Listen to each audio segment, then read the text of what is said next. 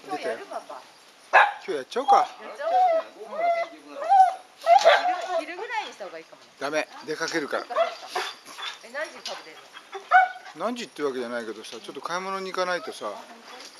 何時ぐらいがいいやる？9時。9時？朝一そのままなんかこの。